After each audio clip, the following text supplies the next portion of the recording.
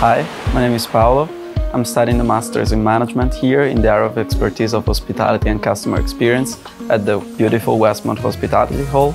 It's very awesome here. I've been doing quite a few WITH talks with Kike, also the CEO of TAP Air Portugal, the president of the tourism sector here in Portugal. It's been amazing.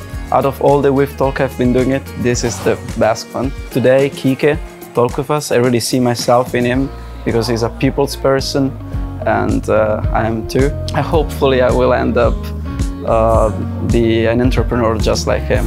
It's only been a month and I've been loving it since the first day, since the first day of Discovery Week. When I saw the application form to get here, I wasn't really sure about it because it is still like a hospitality thing.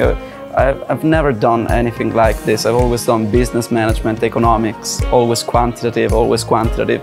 But I always had an entrepreneurship mindset and I wanted to broaden my knowledge in that sector. And this master, I suggest to everyone, is perfect.